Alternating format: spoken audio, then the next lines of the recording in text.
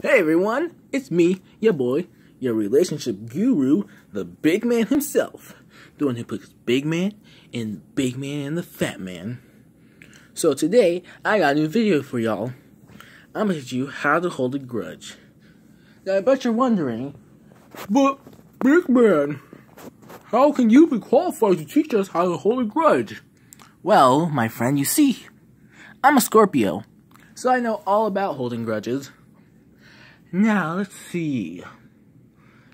This video is mostly for people who want to hold grudges, but can't stay mad at their friend, their parents, their partner, their significant other. Um, I'll teach you how to do it.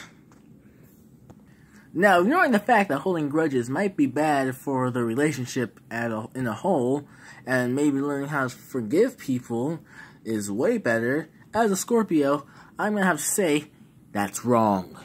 Anybody who says that is wrong. Always hold grudges.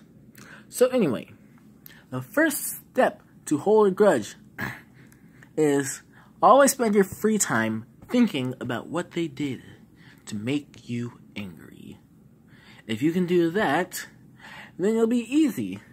Now, for those of you that barely have any free time, I have another tip that might just be even more effective.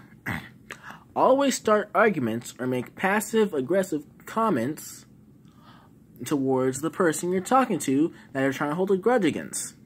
If you do that, then most of the time arguments will arguments will spark, and you'll be able to hold a grudge against them for even longer because you're mad at them again.